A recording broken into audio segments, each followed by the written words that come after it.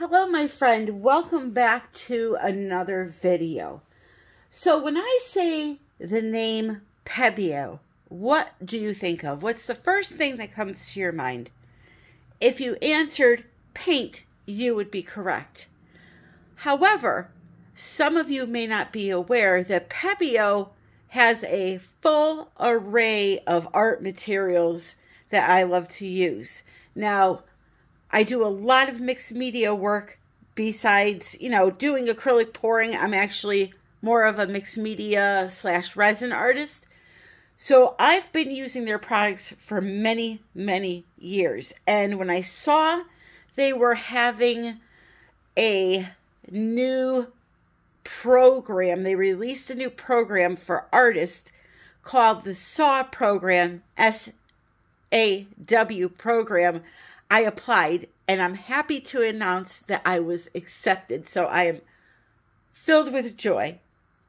So, what that means is periodically, maybe once or twice throughout the year, they will send me some products that I like to use to create my art. It's a sponsorship. Now, I'm not getting paid or there's no coupon discount, anything like that. But I thought because recently I've been showing a little more mixed media on his channel that I would show you some of the things. And most of these things you can find in like Michael's, uh, Jerry's, Blick, places like that. So they sell a beautiful modeling paste that has a crackle effect that I'm really anxious to use. They have their own brand of resin, believe it or not, called crystal resin, not to be confused with the other crystal resin. This I see in Michael's all the time. This one is a little bit different. Now, this one you mix two doses of resin, they say, with one dose of hardener. So it's a two to one ratio. But I mention this because at Michael's you can use your your coupons, right? So they do sell this there. Then, you know, they have their beautiful paints that we all love. They have these beautiful gilding waxes that I cannot wait to use. Now, you saw me use a different brand of this stuff in one of my videos, but let's say you take a stencil and you just uh, use some modeling paste and make a little stencil on a canvas. Take some of this and just lightly rub it over the raised part of the stencil and you'll get a beautiful bronzy uh, pattern, right? So you have that stuff. They have they're all different kinds of products. You know, they have their own pouring medium that I'm going to be trying today. Uh, pigments for resin. And somebody recently just asked me to incorporate some golding, uh, gold leaf into my painting, my acrylic pour painting, which I'm going to be doing soon. They even have the, the kits with the Cerne relief. Now, this stuff you can use in molds, resin molds. You can outline inside the mold with this. It's 3D. Let it dry and then pour your resin in and pop it out. Have a beautiful thing. You can do some 3D line work in your acrylic pours. So, you know me. I love, love, love to take the acrylic pour to the next step. I just don't want it to be an acrylic pour. So, Pebeo has you covered in that department. So I implore you, take a look, go onto Pebeo's website. I'm going to link it in the description and just look around at all the different things that they sell in our local stores. Okay. Now they're based out of Canada for United States citizens. You're probably better off going to Jerry's, Blick, Michael's, and like I said, using your, your coupon to get these products with your discount. So what I'm going to do today though is an acrylic pour. I have some Pebeo pouring medium that I have never tried. This is my first time trying it. I am going to show you how to mix your paints up with a pouring medium. We're also going to add a little Floetrol to get some special effects. So we're going to essentially make our own custom pouring medium. And I'm also going to maybe use some silicone. It doesn't hold me back. The, the fact that I have to clean it and all that doesn't hold me back. I love using it. Love the outcome. So let me show you how to mix up your paints and make your own custom pouring medium by using a pouring medium and other things. And we'll see what kind of reactions we get.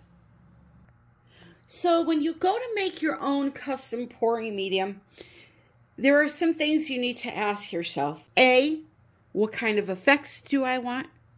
And B, am I going to resin this painting or varnish it afterwards? Those are the two main questions you need to ask yourself, and here is why. We'll start with the easier side here. If you are going to resin or varnish, it's going to change the ingredients that you're going to want to add into your paints. Same thing if you're not going to do it. It's going to change the ingredients that you're going to need in your paints. So a lot of people don't know this. You can make a homemade pouring medium that covers this and this right here. How? Well, you use products that dry with a shine and that also create this lacing and cells. However, if you're going to resin or varnish, why waste the money and add those products when the resin or varnish are going to give you the shine in the end? I hope that makes sense. So let me show you. Something like a pouring medium, a gloss pouring, pouring medium on top of it all, is going to create a shiny effect on your surface when your paints are dried. However, it is not going to so much create a lot of this on its own. In combination with Floetrol, it will. So that's why we need to to kind of understand what we're adding here. It's almost I always refer to making a pot of sauce. You know, if you add oregano, you're going to get a different flavor than if you were to add something like rosemary, right? So you have to kind of understand that and figure out what it is that you're looking for out of a pouring medium. So, a lot of people will use this one simple recipe, which calls for Floetrol, some pouring medium, and some water. And that covers all of this.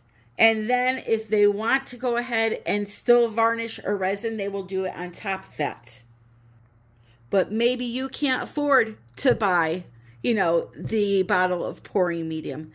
And maybe you can't afford to buy the resin. Then you're going to have to look into cheaper alternatives to get that shine, which would be something like a polyacrylic clear uh, gloss varnish. Or maybe you don't like lacing and cells in your paintings so you're going to get rid of the, the Floetrol and you're just going to stick with a, a pouring medium or even glue and water if you wanted. So in my on my channel there's tabs up at the top. One says home, videos, playlists, community. If you click on the playlists, you're going to see a back to basics section. And in there there are there are tons of recipe videos covering from, you know, just paint and water all the way up to the more fancier ones that include, you know, tons of ingredients. But for today, what I'm going to do is make a very simple, basic Floetrol pouring medium slash pouring medium. but it's very confusing. I'm making a homemade pouring medium using real pouring medium and Floetrol and some water, okay?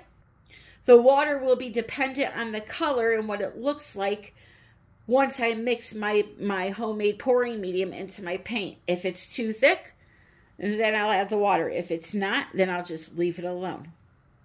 And one other thing I'm going to teach you how to do today is I'm going to teach you how to pre-mix your paint so that it will be good for all techniques if you want to use it. And here's why I'm saying that. A lot of people want to pre-mix their paints and put them in these great squeeze bottles I get from Lily Veffe. Link is in the description. Here's the thing though.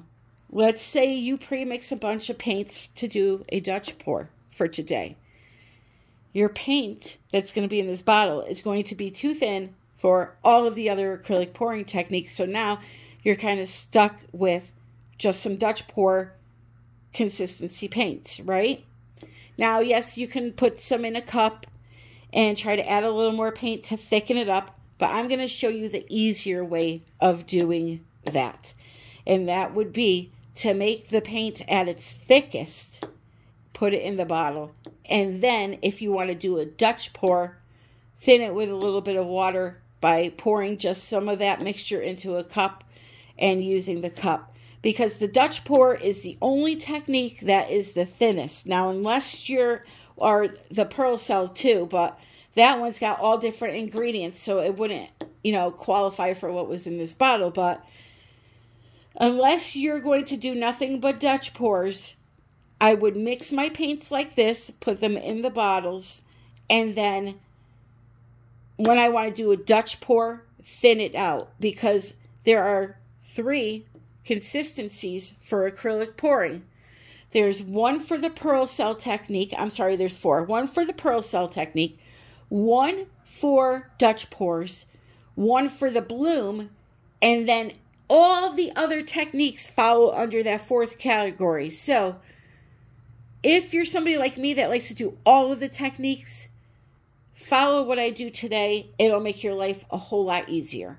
So, as I said today, I'm working with a very common recipe today that a lot of artists use, which is the one part of Floetrol, which I'm filling up to one cup, to the one part of the Pebeo pouring medium. So I'm going to fill that up a cup worth also.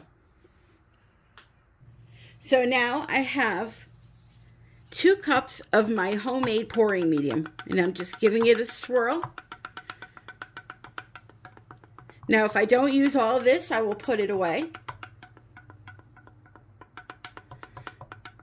And I will definitely not use all of that. So we will be doing that. So let me just mix up one color with you and just know that all of my colors are going to be mixed like this today. So depending on how much paint you want to make in this color is going to determine how much paint you put into the cup. So no matter what size cup I use, I always kind of just cover the bottom with some paint you know, maybe fill it not even a quarter of the way full, the cup, with paint. And then what I do is I slowly start adding in my pouring medium. I don't want to add it all too fast because it can clump up on me. Especially a metallic color or anything that has a mica in it, like this product does here. This, by the way, is the iridescent green yellow. Beautiful. Metallic lime green color. Love it. Okay, so just a little bit at a time.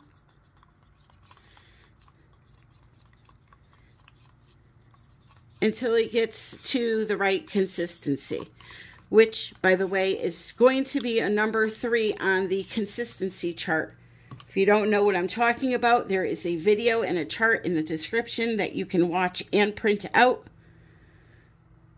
And that will teach you, it will, I should say, it will communicate to you how thick my paints are here in my house by doing a drip test. So make sure you check out that video, especially if you're struggling with consistency.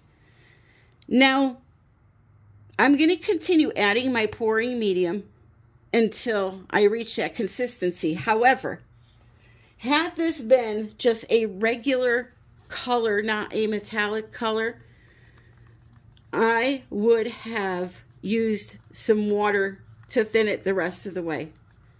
But I do not like to add a lot of water into anything that has a shimmer because it tends to dry grainy. So that is why I'm using more pouring medium.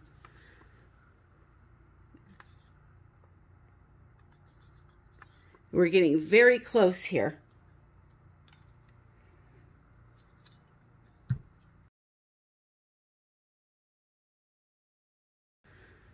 All right, so that's good. It's forming a mound on a mound. That's a really nice consistency for all of your acrylic pouring except for the Dutch pour, the pearl cell technique, and the bloom. Okay? That's it. So I'm going to mix up my the rest of my colors and we'll get back and we're going to play with these cool guys that I found at Walmart. To be fun. So, as I had mentioned before, pre-mixing paints. I'm going to use that same color again. This is, in my opinion, the best way to do it. Because now this paint is ready for all of the acrylic pours except for those main four I keep mentioning. I'm going to put it in here. And now if I wanted to do a Dutch pour or something that it requires it to be thinner, then I'll pour some out into a cup and thin it out with a little bit of water versus trying to pour some of this that's too thin into a cup add paint to it. Now it's too thick add, it, it'd be a lot easier this way okay? So if you're a person that likes to do all different techniques I'm telling you this way works the best for me. And then they're stored in their nice little bottles and you don't have to worry about it. This was obviously black paint before. Now it's going to be green. Also, if you're a person like me that wants to store your paint in a bottle and wants to do different techniques and wants to use silicone, you're most definitely going to have to pour some out into a cup and put the silicone in because you don't want to put silicone into the whole bottle of paint unless you're going to use nothing but silicone, right? In all of your paintings. So now what I would have to do is take some of my pre-mixed paint and put it in a cup, however much I'm going to need of that one color, and add my few drops of silicone to it. Okay?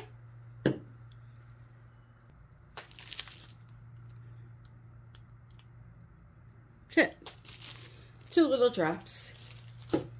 Give it a mix. If you want big, large cells, mix it in only a couple of times. If you want them really, really tiny, mix it in really, really good. So for colors, I have a, an array of Pebeo colors. Mars Black, Titanium White are my base colors. I'm going to do a split. Then I'm going to do a funnel down the center of the split uh, with a bunch of vibrant colors, and we'll take it from there. I'm not saying this is just going to be a funnel pour, but I want to use this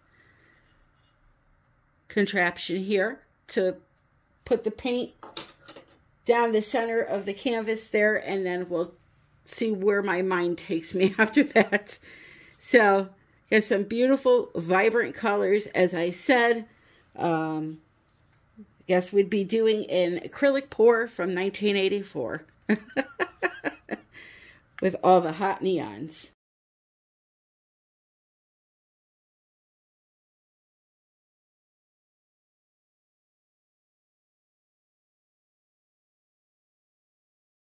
So there's a phrase that comes to mind when I rewatch this and I do the voiceover, and that is the struggle is real let me tell you, this painting gave me a run for my money. you know, when you're not doing a typical type of technique, we'll use the Dutch pour, for example. You're you know what the composition is supposed to look like and you aim to make that composition. When you're doing any other kind of acrylic pour that's not the typical like a ring pour or a Dutch pour or a swipe, you really have to use your imagination to get to the composition and to create a painting that you like. So for me, I had this vision of these beautiful, bright, fluorescent colors flowing through the center that made sense when I looked at it. And I couldn't get there on this one. So I I tried and I tried and finally I remembered the person that told me, please, Tammy, incorporate gold leaf into your work. So, what my plan is for this painting is to let it dry and then do a separate tutorial using the gold leaf that Pebeo was so kind to send me and show you how you can incorporate that into an acrylic pour. Side note, can we just talk about this beautiful funnel? It was so pretty. But anyway, I'm not going to blab on. I'm going to let you watch my process and see how this turned out. The painting still turned out pretty cool. I love the colors I ended up with, and the composition is different, and I like different. So that's a plus. So I'm going to hush for now, and I will be back. Just know, however, once I teach you how to mix paints and the different techniques of how they should go, the rest is up to you. We all struggle. We all have failures. We all use those failures as a learning experience. And I choose not to even see them as a failure uh, because I did not achieve the look I was going for today. That's not a failure. It's just another door that opened for me to now take this painting and create something even more beautiful than what I originally had intended. So look at it like that.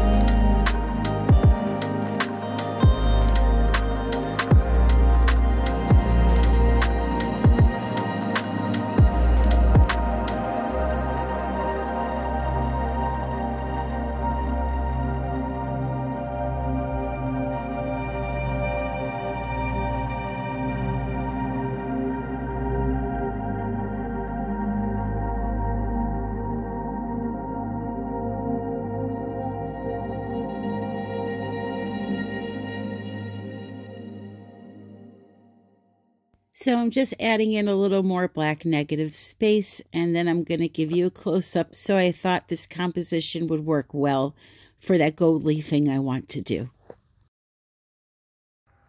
So here we go. Not what I envisioned, but still a pretty painting. I like it. I'm going to let it dry. Then I'm going to resin it, and then we're going to add that gold leafing like I was requested to do. So stay tuned for a future video on that. I love the colors. We do have shimmer in there. And yeah. So I hope you learned something of value today. And uh, hope you decide to come back.